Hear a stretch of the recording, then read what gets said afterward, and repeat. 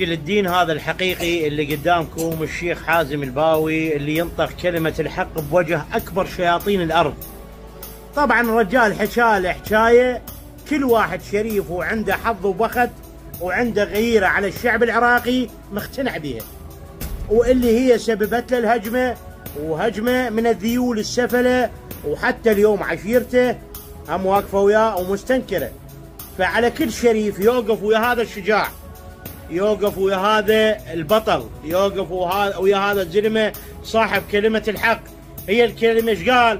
قال عمي يا سياسيين أنتم اللي جاي تسوون مجالس بالأراضي المغتصبة مال الناس. هذا المجلس ما يوصل.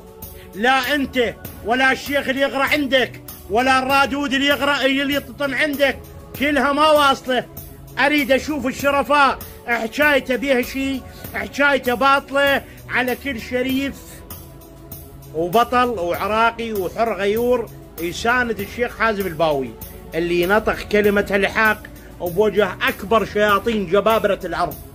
السفلة السياسيين اللي باقوا مال اليتيم مال الشهيد. دمروا البنى التحتية دمروا المدارس دمروا المستشفيات ومسوي لهم مجالس حسينية. هسه مو الشيخ حازم الباوي أنا رجال مو رجل دين قسما برب الكعبة لو مو تلطمون لو مو تصلون لو مو تجيبون رواديد ب 500 أو 600 مليون ما أدري إيش ما توصل الكم شيء ما يوصل الكم. برقبتكم 42 مليون مسكين. مهمش. مظلوم ماكلين حقه أنتم. واحد يبريكم الذمة اثنين وتخلصون منهم. ملايين بذمتكم والقيعان تسوون بها مجالس مغتصبه مال الناس.